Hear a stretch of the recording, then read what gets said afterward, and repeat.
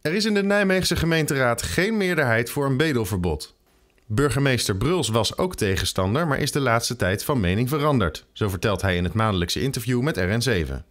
Maar waar ik me heb laten overtuigen, tot op in ieder geval een paar plekken in de stad zijn mensen bezig. Dat zijn een paar mensen, dat gaat echt niet over, uh, over, over tientallen. Het gaat zeker niet over de hele groep van dak- en thuislozen, want dan zouden we hen onnodig uh, criminaliseren. Mm.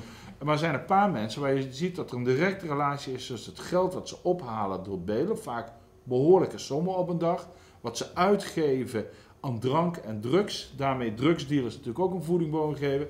En vervolgens de overlast die zij zelf of anderen daardoor uh, uh, veroorzaken. Uh, hè.